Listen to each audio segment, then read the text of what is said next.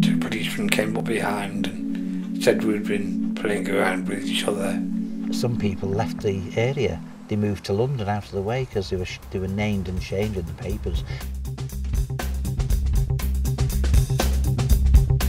The day that the law was changed and passed, I think there was a lot of bottles of champagne were cracked.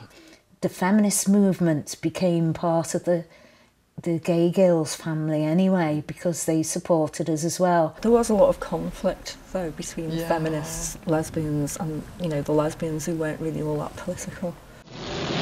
It is a deadly disease and there is no known cure. Oh, AIDS, AIDS, AIDS, AIDS, AIDS, AIDS. Oh. It galvanised the gay community. It, because if you haven't got each other, you've got no one.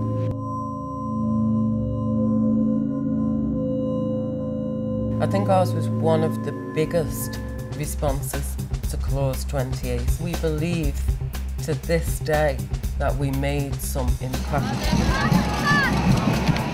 That was an outpouring of feeling in the city. I think gay people sick, trans people sick of being attacked.